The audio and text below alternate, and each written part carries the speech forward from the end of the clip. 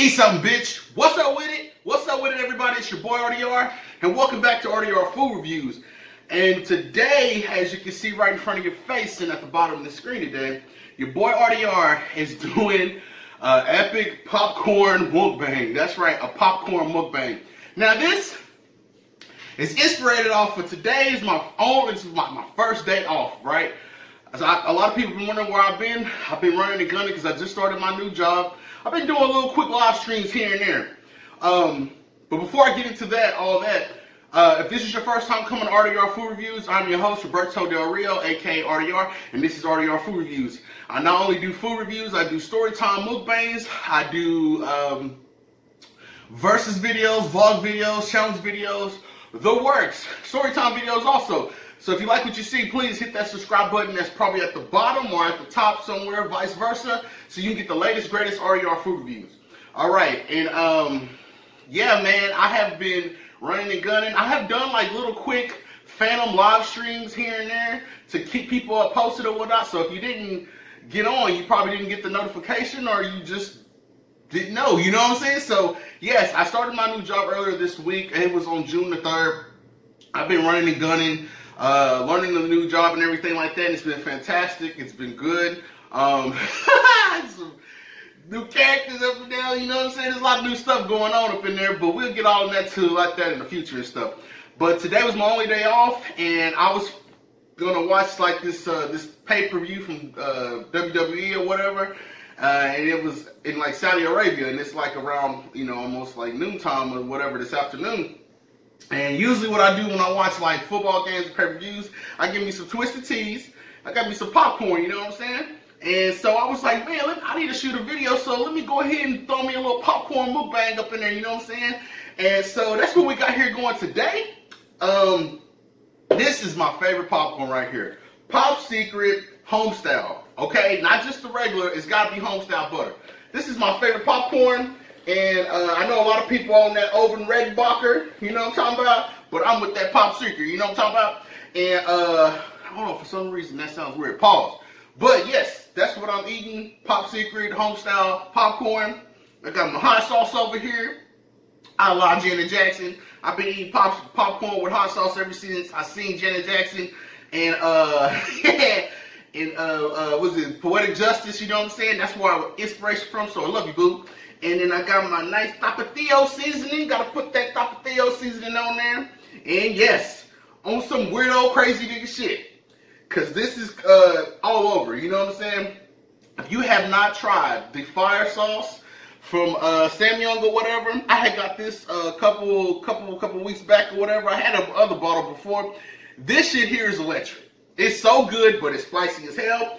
And yes, I'm going to do a real thing sometime in this video, and I'm going to see what that fire sauce do on some popcorn. You know what I'm saying? So tune in for that. Then I got my Zatarain seasoning over my Zatarain hot sauce over here. So that's what we got here going today. So let's go ahead and get a quick moment of prayer. Father, thank you for this food I'm about to receive. Help this food nourish my body, make me stronger as a person, stronger as a man. And bless those that grow hungry. I pray that you please follow us on me. In your holy gracious my name we pray. Amen. Love you, Father. All right, now, let's see if we can get a quick thumbnail in.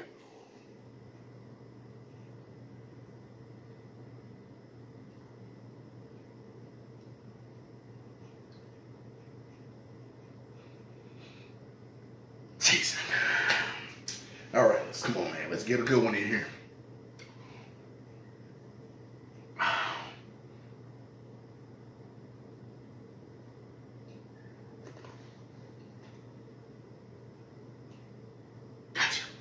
All right, got the prayer out the way, thumbnail out the way. Let's dig in. All right, now, let me get this bitch ass box out the way, get my substitute over here, and get the, get this chili water cracking.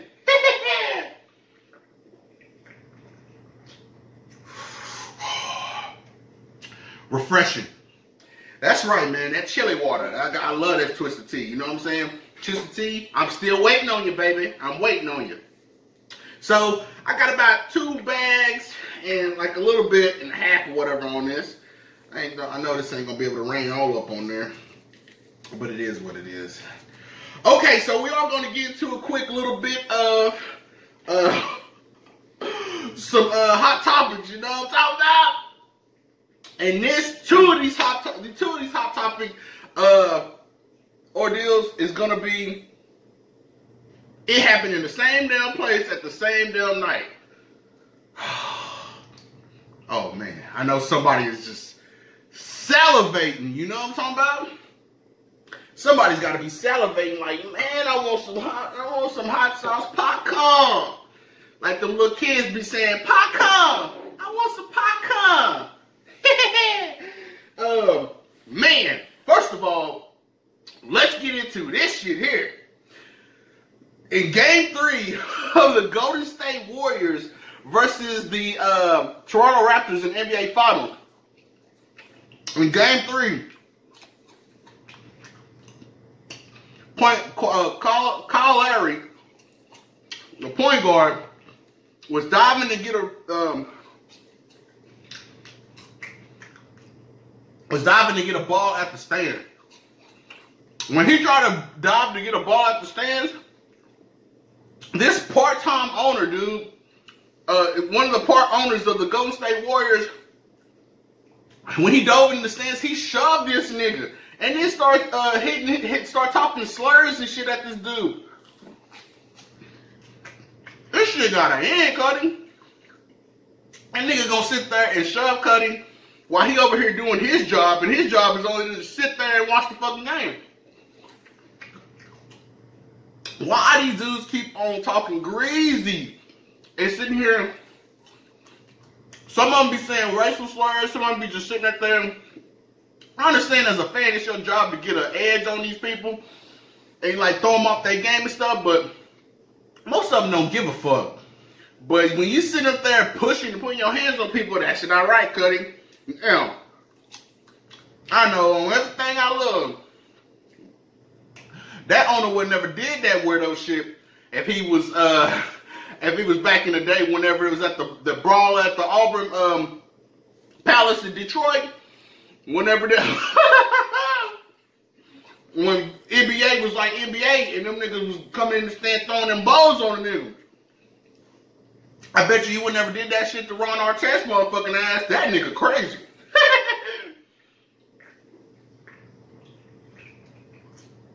he would have pushed Ron Artest. He'd have bit that nigga like Tyson. nigga would have went Cujo on that nigga. You know what I'm talking about? And if you don't know who Cujo is, nigga, go Google it. Cujo was a bad motherfucker. Rabbit.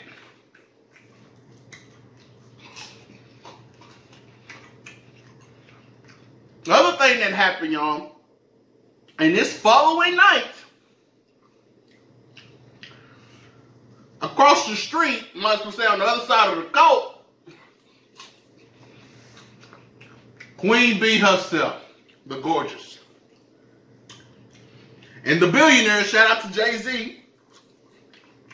First rapper billionaire, they said. Shout out to him, man. True inspiration.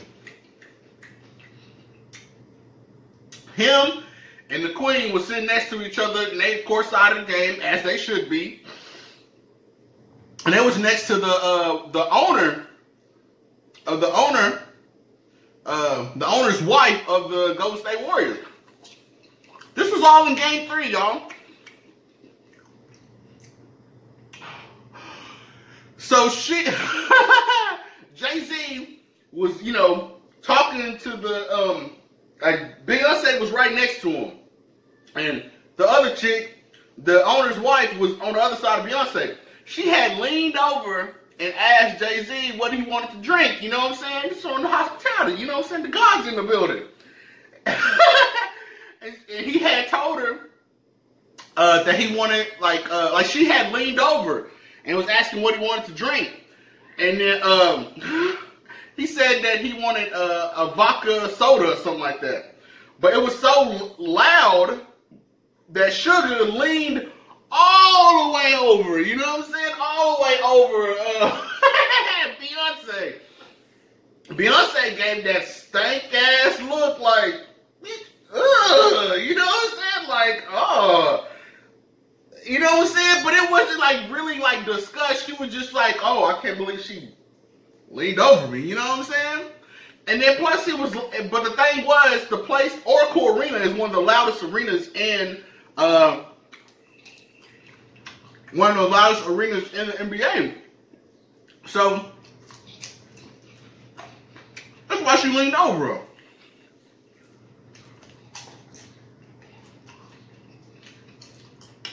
Niggas be tripping, you know what I'm about?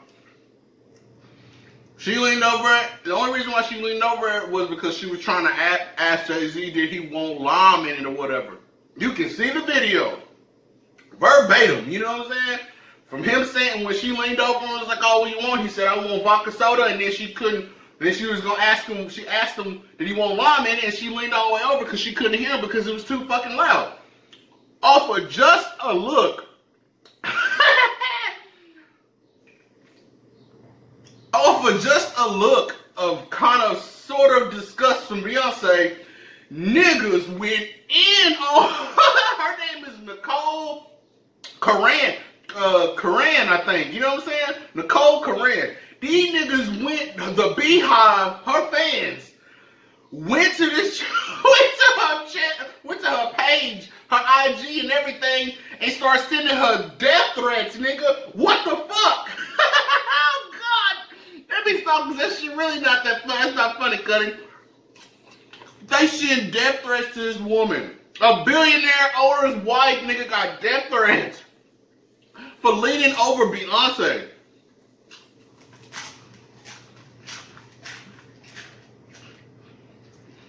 I wanted to do that. yeah, nigga. Cuddy, she had to Oh yeah, I fucked up. Cause she had to disable her social media.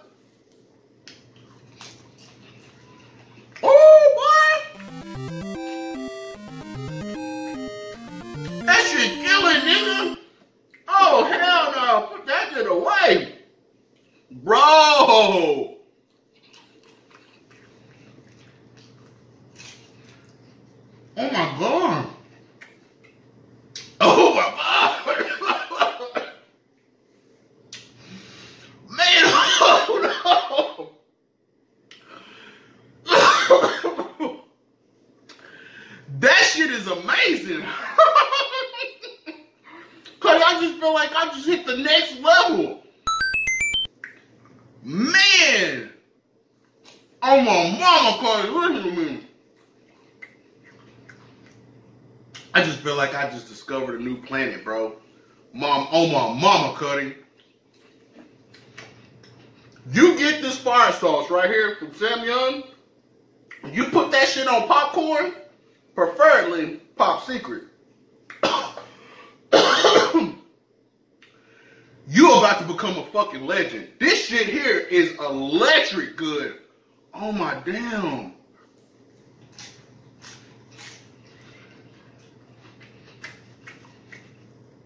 I almost forgot what I saying. Oh yeah. I just start sending this bitch death threats, Cuddy. You know what I'm saying? On some discuss shit like, oh man, these niggas is just assuming that she over here just trying to pull. You know how Beyonce fans are. They super sensitive. They think that she over here trying to spit game. You know, one billionaire wife to a billionaire husband trying to take me, trying to take this nigga. Man, she, come on, man. Why y'all gotta threaten this, this, this girl like that, man? That's fucked up.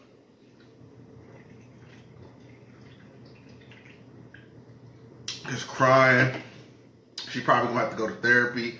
These niggas was death threatening the shit out of her. All because of a look, man when you know it's we're goddamn ridiculous, man.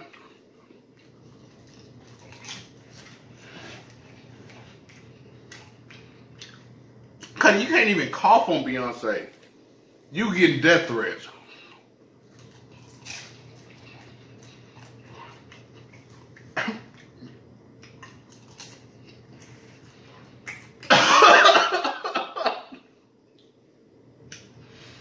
hey man, it's just some niggas just, it's some fortresses you just can't be fucking with, man. And I know Sugar had no intentions of really trying to lean over Beyonce, but man, come on, man, you gotta be in her state, man. She looking at Beyonce like she a normal ass chick. Come on, man, the levels is the statuses of levels is pretty much the same. I mean, yeah, Beyonce's an icon, but come on, when it come to money, well, hey, she a billionaire, old girl a billionaire. It's like, hey, nigga, your money the same money as my money. It's like, hey, man, you a normal person. I can lean over you and say, uh, hey, trying to ask your dude what's up. You know what I'm saying? And Jay Z, what's up with a vodka and lime, my nigga? I mean, vodka soda. You was hove, man. What's going on? Thought that you think you would want like some beer, you know what I'm saying, or some shit like that. Or some twisted tea. Oh my god. This shit is so good, y'all. My face is about to start sweating.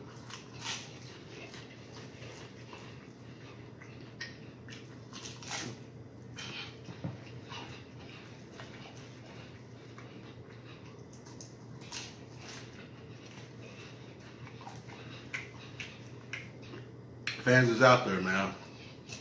I guess some people you just can't be trying to try. You know what I'm saying? Unless you got the ammo. I remember saying this shit a long time ago when I was a small channel. If you gonna go to war with somebody that you don't like, that's in any profession. That means, you know what I'm saying? Not only like musically, social media, I mean like YouTubers and shit like that you're gonna have to have an army. You can't be sitting there talking shit about somebody that's up in the upper echelon or doing something uh, weirdo and stuff because some people fans they have died for them niggas. You know what I'm saying? Perfect segue. Right. And I really hate breaking this up, but it's kind of like segue to this. It's like like that whole B uh B Love and Q uh, little ordeal. Even though like the incident happened like six months ago, Q said that she couldn't have came out and said this shit at, at when she was, you know, at hundred thousand subscribers and stuff, because she would have, they would have demolished her, as they would have. You know what I'm saying? and and uh, before I even get more into it, I'm just like, because I don't take neither sides either or. You know what I'm saying? Like, you know, both of them are wonderful people and I, I like them both dearly. You know what I'm saying? A great, you know, even more so, even more um, be loved because you know she supports me like crazy. You know what I'm saying? She's such a wonderful soul. And Q, I've been knowing when you know when I started. You know what I'm saying? Doing mukbang side. You know what I'm saying? So they're both wonderful human beings. Well, my point was is Q has said that she couldn't have came out and said the way she felt or whatever because she didn't, you know, she only had like a hundred thousand subscribers and stuff, and you know, Beast got like an army, and she said they would have crucified her, and they would have. so I guess she waited, you know, waited for the, waited for the, you know, saying the, waited for she to, to triple up on her, her followers or whatever, they came at it. But imagine if you only had like like 20k or whatever, man. It'll rape your whole arm, uh, uh, it would destroy your whole rape or destroy your whole damn uh, uh, program.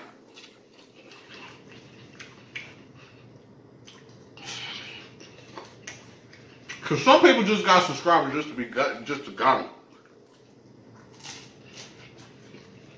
And some people got actually real cool people um, sub to them.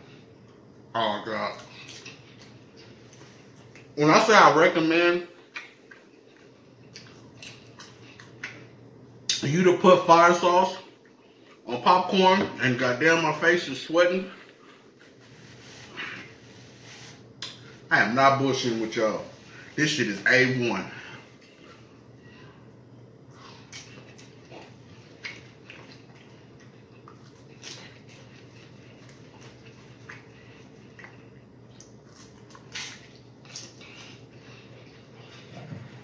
Again, like I said, I'm glad that this this that situation is got getting like cast over. So much love and shout out to them. But yeah, man. This popcorn was here. I think I done had about enough of this shit though. I might say fuck wrestling and just take my old ass to bed. take my 33 year old ass to bed. one thing I noticed about being in my 30s. Nigga, sleep is everything. Again, shout out to everybody that's been rocking with me through this whole transition to my new job and everything. I will be banging out them bangers even more soon. Just give it a little time to let this stuff keep selling over. I'm just going now. Know what I'm talking about? Oh, wait. No, I did. I had to think to myself. I thought to myself, like, dang. Oh, shit hot.